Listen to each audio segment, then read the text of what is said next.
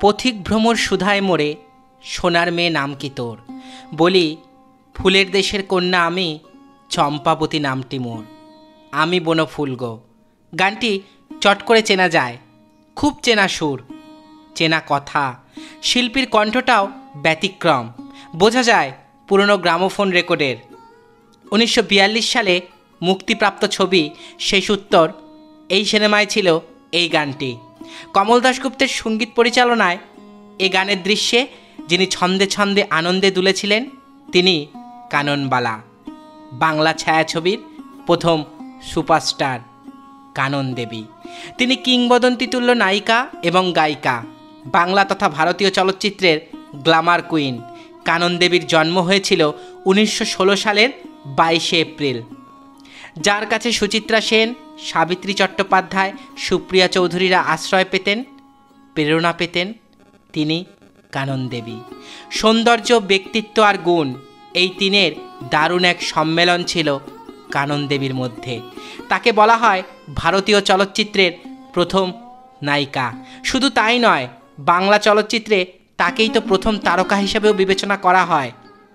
প্রথম ব্র্যান্ডেড নায়িকাই তো কানন দেবী। এমনও বলেন কেউ কেউ সুচিত্রা সেনের আগের যুগের সুচিত্রা সেন নাকি কানন দেবী। যদিও দুজনের যাপিত জীবন, পারিবারিক অবস্থা, কোনো কিছুরই মিল নেই। সুচিত্রার তারকা ইমেজ যা ছেড়ে তিনি কোনোদিনও বেরোতে পারেননি। তৎকালীন ইন্ডাস্ট্রির অনেক মানুষই সুচিত্রা সেনের সান্নিধ্য সে অর্থে পাননি। পাবনার মেয়ে সুচিত্রার পরিবার অবস্থাপন্ন, শিক্ষিত, তার বেড়ে ওঠা মধ্যবিত্ত বাঙালি স্টাইলে উচ্চবিত্ত পরিবারের মেয়ে। কিন্তু একেবারে নিজের ইচ্ছার বিরুদ্ধে সিনেমায় এসেছিলেন। কানন দেবীর গল্পটা কিন্তু অন্যরকম। তাকে বলা হতো ইন্ডাস্ট্রির জননী। নায়িকা, গায়িকা, প্রযোজক, অভিভাবক কত কী। আরও পার্থক্য আছে। সুচিত্রা সেন ছোটোবেলায় সংগীত চর্চা করলেও পরে তাকে তেমন গাইতে আর দেখা যায়নি। নিজের ছবিতে কখনো গান করেননি তিনি। অপরদিকে কানন দেবী ছিলেন পুরোদস্তুর গায়িকা। প্রচলিত কথায় তিনি একজন ফুল প্যাকেজ। গায়িকা, নায়িকা। কাগজে কলমে তার জন্মদিন উনিশশো ষোলো সালের বাইশে এপ্রিল। আবার ভিন্ন মতে তার জন্ম হয়েছিল উনিশশো বারো সালের বাইশে এপ্রিল। এভাবেই তার জন্মস্থান স্থির হয়েছে কলকাতার কাছে, হাওড়া জেলায়। কানন দেবীর জন্ম উনিশশো ষোলো সালের বাইশে এপ্রিল। এটা ধরে নিয়েই এগোনো যাক। তার আত্মজীবনী সবারে আমি নমিতে অনেক কথা বলে গেছেন তিনি।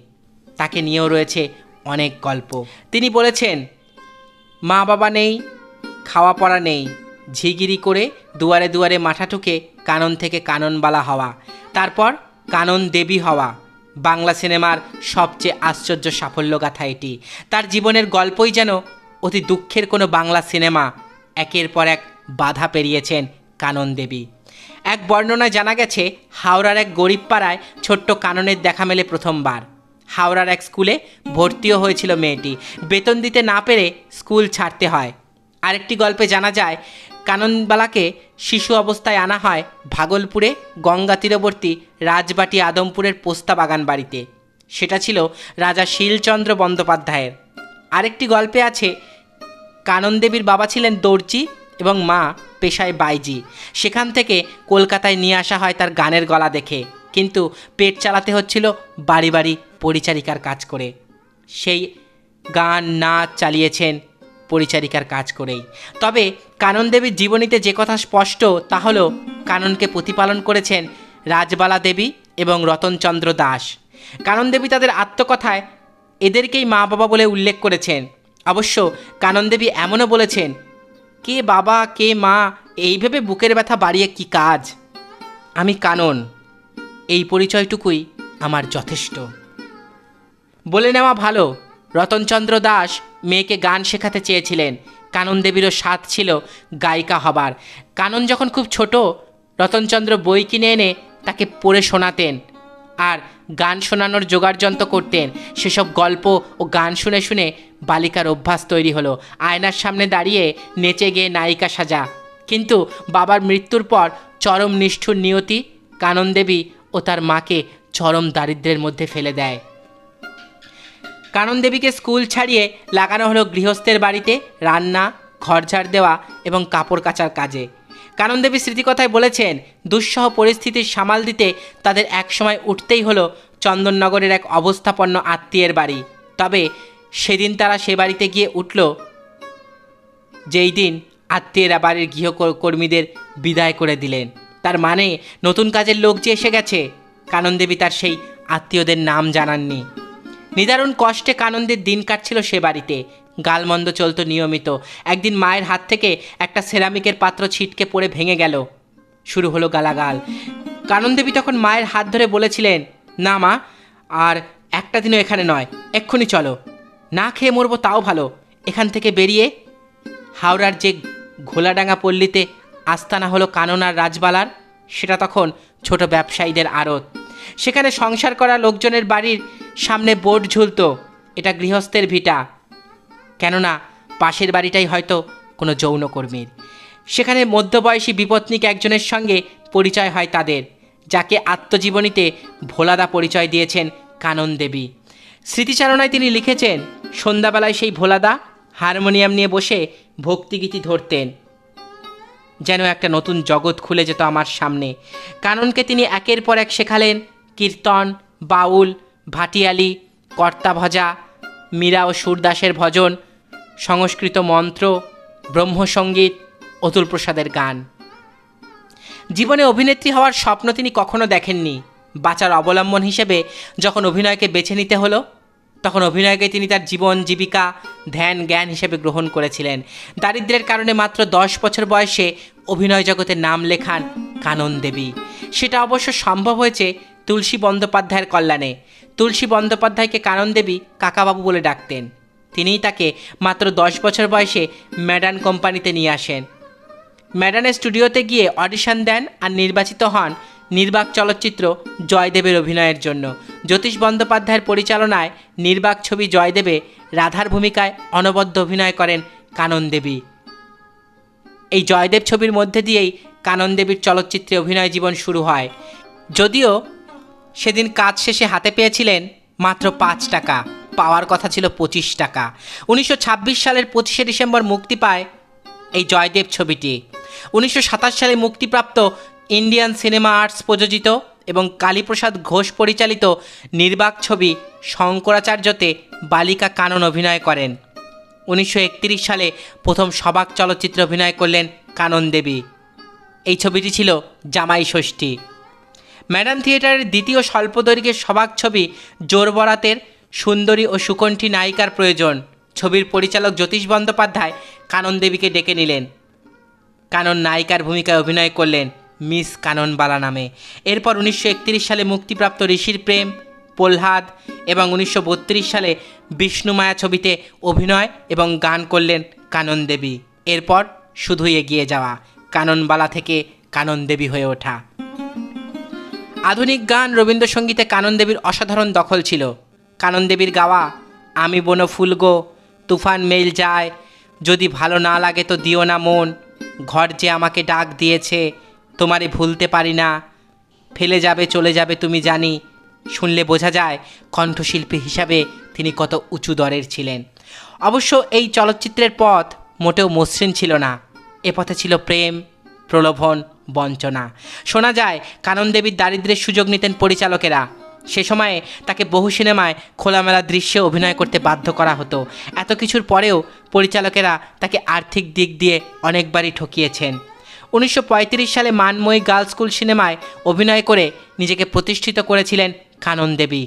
এরপর উনিশশো সাঁত্রিশে মুক্তি সিনেমায় অভিনয়ের মাধ্যমে তিনি সফলতার সিঁড়িতে পা রাখলেন। এর পরের গল্প কেবল সাফল্যের। উনিশশো চুয়াল্লিশ সাল পর্যন্ত তিনি সাফল্য ধরে রেখেছিলেন। একের পর এক সুপারির সিনেমায় অভিনয় করে নিজেকে নিয়ে যান এক অনন্য উচ্চতায়। হয়ে ওঠেন কানন দেবী। প্রযোজনা প্রতিষ্ঠানও চালু করেন, যার নাম ছিল শ্রীমতী পিকচার্স বর্ণাঢ্য কেরিয়ারে সত্তরটির বেশি চলচ্চিত্রে তিনি অভিনয় করেছিলেন। তার মধ্যে উল্লেখযোগ্য ঋষির প্রেম, প্রহ্লাদ, কংসবধ বিষ্ণুমায়া মা, কণ্ঠহার, বাসবদত্তা, পরাজয়, যোগাযোগ, মুক্তি, বিদ্যাপতি, সাথী, পরিচয়, শেষ উত্তর এবং মেজদিদি।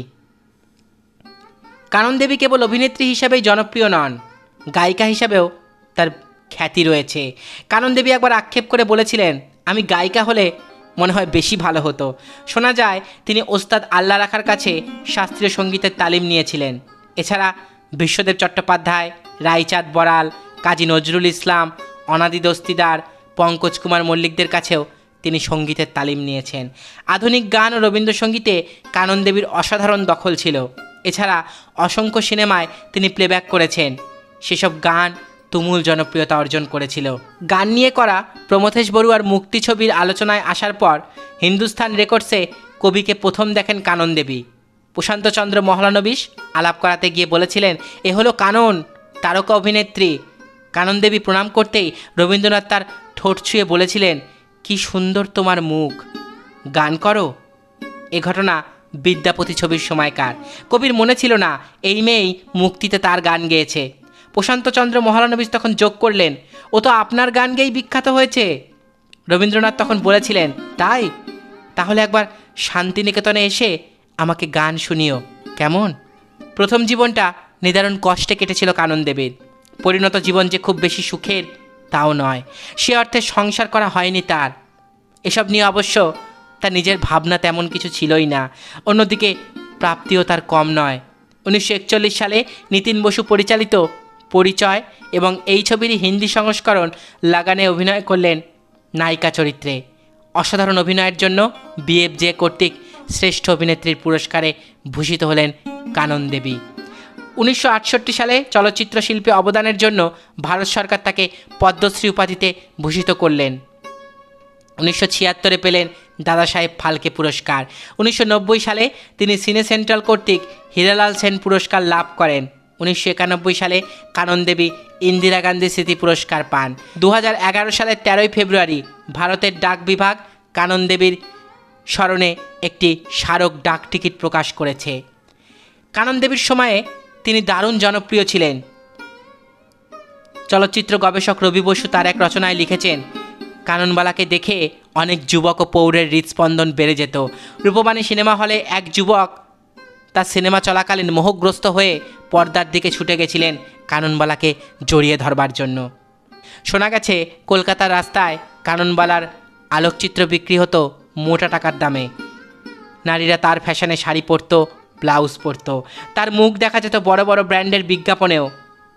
উনিশশো চল্লিশ সালে প্রথম বিবাহের পর দর্শকরা ভেবেছিলেন কানন দেবী হয়তো এবার অভিনেত্রী উমা শশীর মতোই অভিনয় জগৎ এবং সংগীত জগৎ থেকে বিদায় নেবেন। কিন্তু কানন দেবী সেটা করলেন না। এতেই মেঘ জমল সম্পর্কের আকাশে, কানন দেবী এবং অশোকবাবুর সম্পর্কে। কানন দেবী স্বীকার করে গেছেন যে অশোককে তিনি দেবতার মতো পুজো করেছেন। ওর সংস্পর্শে এসে জীবনের রূপ, রস, গন্ধের স্পর্শ পেয়েছেন। পাশ্চাত্য উচ্চাঙ্গে দীক্ষা পেয়েছেন। জেনেছেন, ভালোবাসা কারে কয়। সেই ঘরের মানুষটি বিভাগী হয়ে গেল এই বলে স্ত্রী যে কাজটা করে, সেটা তার পছন্দ নয়। তখনকার অভিনেত্রীদের বিবাহিত জীবনে অবিরত যেটা হতো, তাই হলো কানন দেবীর জীবনে। পাঁচ বছরের মধ্যে ভাঙল মিলন মেলা। অশোকের বরাবর ধারণা ছিল, কানন যে শেষ অব্দি ডিভোর্স ফাইল করেছিলেন, সেটা রানী ও প্রশান্তচন্দ্রের পরামর্শে। অশোক মামলা কন্টেন্ট করেননি। এত শ্রদ্ধা ও ভালোবাসা যে অশোক মৈত্রর প্রতি তার ছিল, তার নামই কেন করলেন না কানন দেবী তার জীবনীতে? এও এক ধোয়াশা। বলা মুশকিল এবং তার উত্তরও নেই। আবার দ্বিতীয়বার বিয়ে করেছিলেন কানন দেবী। তিনি লিখেছেন, কানন দেবীর দ্বিতীয় স্বামী অতি রূপবান, ভারী ভদ্র, উচ্চমানা ও রসময়। তার নাম হরিদাস ভট্টাচার্য। সত্তর দশকের শেষ দু বছর এবং আশির দশকের শুরুর বছরখানেক ওকে বার কয়েক দেখা গেছিল আনন্দবাজারের অফিস ঘরে। স্নিগ্ধ সুপুরুষ পৌর এসে বসতেন গৌরকিশোর ঘোষের টেবিলে। চলচ্চিত্র জগতে প্রযোজিকা হিসেবে কানন দেবী এবং পরিচালক হিসাবে হরিদাস ভট্টাচার্য এক দুরন্ত হিট জুটি হয়েছিল। শ্রীমতী পিকচার্সের প্রথম হিট মেজদিদিতে হরিদাস ছিলেন সহপরিচালক এবং কানন দেবী ছিলেন প্রযোজক। তিনি স্বাধীনভাবে পরিচালনায় এলেন নববিধান এবং দেবত্র ছবিতে। এই দেবত্রই একবারই মাত্র কানন দেবী এবং উত্তম কুমার এবং সুচিত্রা সেন এই ত্রয়ী একসঙ্গে পর্দায় আবির্ভাব হন। তবে হরিদাস ভট্টাচার্যকে আমরা ভুলতে পারব না। আধারে আলো, রাজলক্ষ্মী ও শ্রীকান্ত, ইন্দ্রনাথ, শ্রীকান্ত অন্নদা দিদি, অভয় শ্রীকান্ত এবং তার শেষ থ্রিলার ছবি শেষ অঙ্কের জন্য। আর কানন দেবীকে নিয়ে তো বাঙালি প্রেমে পড়ে, নিন্দে করে, ভালোবাসে। তারপর তার ছবি বুকে ধরে কাটিয়ে দিয়েছে যুগের পর যুগ।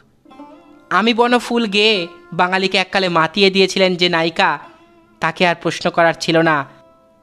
তাকে আর প্রশ্ন করার ছিল না, তুমি কোন কাননের ফুল, কোন গগনের তারা? শেষ দিন অবধি অবশ্য হরিদাস ও কানন একসঙ্গে থাকতে পারেননি। ছাড়াছাড়ি হয়েই গেছিল। উনিশশো সাতাত্তরের জানুয়ারিতে হরিদাস ভট্টাচার্য এবং কানন দেবী জোরে গিয়েছিলেন দিল্লি বিজ্ঞান ভবনে। কানন দেবী সেদিন দাদা সাহেব ফালকে পুরস্কার গ্রহণ করেন। আর উনিশশো উননব্বই সালে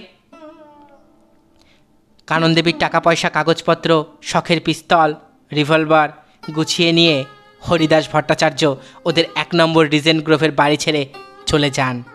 কিছুদিনের মধ্যে কানন দেবীও সতেরোই জুলাই উনিশশো বিরানব্বইয়ে বেলভিউ ক্লিনিকের নির্জন কেবিনে প্রায় চুপি চুপি বিদায় জানান বাংলা চলচ্চিত্র জগৎকে।